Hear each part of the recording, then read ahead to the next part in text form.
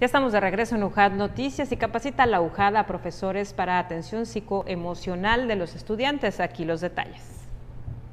La Universidad Juárez Autónoma de Tabasco capacita a cerca de 200 profesores investigadores en materia de atención psicoemocional mediante el esquema de psicología positiva para la atención de estudiantes de nuevo ingreso.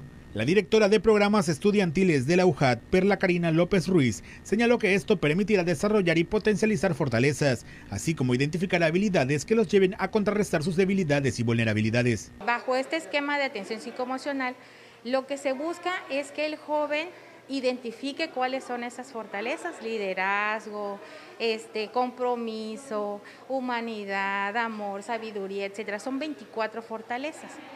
Ahora bien, para que el alumno desarrolle esas fortalezas que le permitan atender esas brechas que tiene, pues necesitamos a alguien que los capacite. Entonces, iniciamos la estrategia con atender a la totalidad de los alumnos que van a ingresar ahora, que son cerca de 6.600 alumnos, vamos a darles un curso que tiene que ver con entrenamiento en bienestar. El secretario de Servicios Académicos, Luis Manuel Hernández Gobea, declaró que se ha tenido una respuesta favorable de los profesores a este trabajo de formación de mejores generaciones. Entonces los profesores debemos estar aptos y capacitados para también no nada más enfocarnos al, al proceso de enseñanza-aprendizaje, sino también la parte emocional, la parte del ser humano que es tan interesante.